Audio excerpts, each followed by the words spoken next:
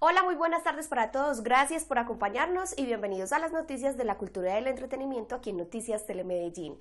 Comenzamos con una información muy especial y es que la Secretaría de Cultura Ciudadana recibió cientos de flores provenientes de los campesinos del corregimiento de Santa Elena.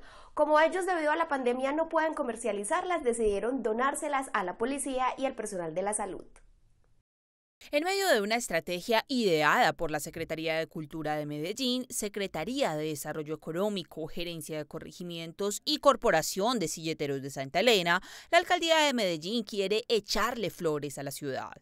Por eso fueron compradas cientos de silletas a los campesinos para regalar flores a quienes con su labor se arriesgan día a día para cuidar nuestra ciudad en medio de la pandemia les echamos flores a los médicos, a las enfermeras, les echamos flores a quienes barren nuestras calles, les echamos flores a los bomberos, a los policías. Queremos echarles flores porque estamos muy agradecidos que gracias a ustedes y a su trabajo podemos quedarnos en casa.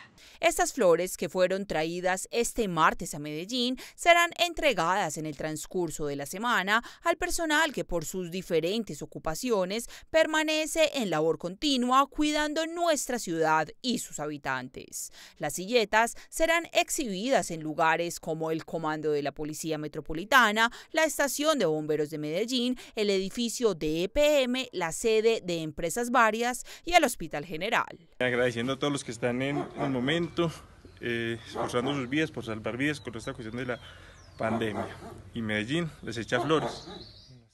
Con esta estrategia se busca además apoyar la economía de los silleteros y floricultores de Santa Elena, quienes debido a la pandemia por coronavirus han perdido su producción de flores y estas están siendo compradas por la alcaldía municipal.